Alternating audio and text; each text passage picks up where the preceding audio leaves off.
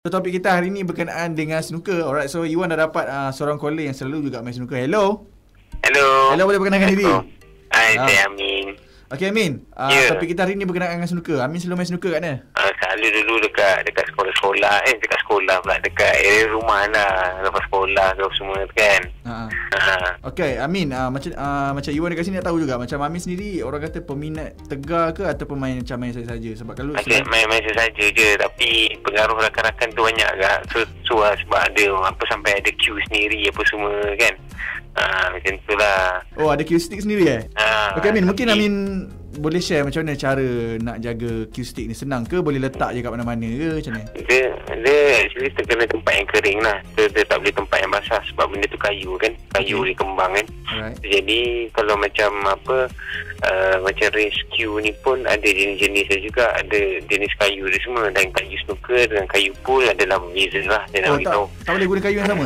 Ya? Tak boleh guna kayu yang sama ah. Ah, tak boleh guna kayu. Asal? Boleh guna kayu yang Asal? sama tapi dia punya cara permainan dia tu agak kekok sikit lah kalau pakai kayu snooker untuk main pool.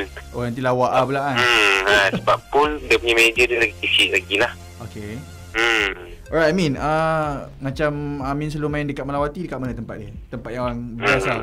tempat tu pun dah, dah tak ada dah sekarang ni Ah. tapi dulu-dulu adalah dekat apa area-area Ampang pun ada saya pernah main dekat area Burubol kat Ampang Point tu saya pun dah, dah tak ingat ada lagi ke tak sebab dah lama sangat tinggalkan ni Tapi harga dalam range berapa Amin? Selalu kalau main.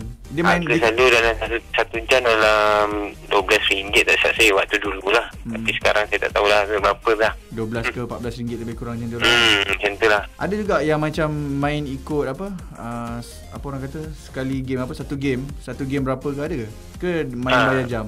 Dia kita selalu main buka open je untuk ni berapa lama lepas tu nanti kita main je lah berapa lama kita nak main sampai 2-3 game ke lepas tu balik lah rumah Hmm, alright alright. Okay Amin. Terima kasih Amin. hmm. Okay, sama-sama Assalamualaikum. okay, Salam Wah. Alright, itu dia antara caller yang uh, hari ni nak call orang dia mendengar pemakai Bus Radio hari ni dan dia nak share uh, dia punya pengalaman sebagai pemain snooker walaupun pemain snooker biasa yang kat kedai biasa kan. Uh, tapi uh, dia sendiri ada cue stick tu yang Iwan macam agak wow, cool juga kan. Uh, so siapa sangka orang kata walaupun main biasa-biasa ada cue stick sendiri. Ha, so dia pun dah share dengan kita orang macam mana cara penjagaan semua so korang kat luar sana boleh manfaat dan dengarkan. Mungkin ada juga yang tahu dan mungkin ada juga yang beginner so korang boleh uh, dapat serba sedikit tips daripada macam Amin tadi.